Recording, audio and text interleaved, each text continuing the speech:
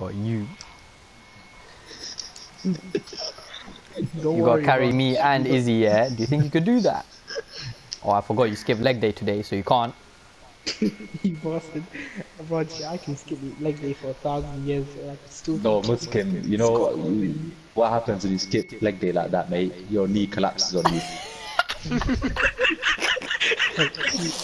Oh, you bastard.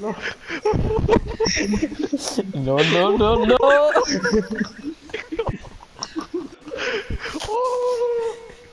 You bastard, brother. Yeah, shit.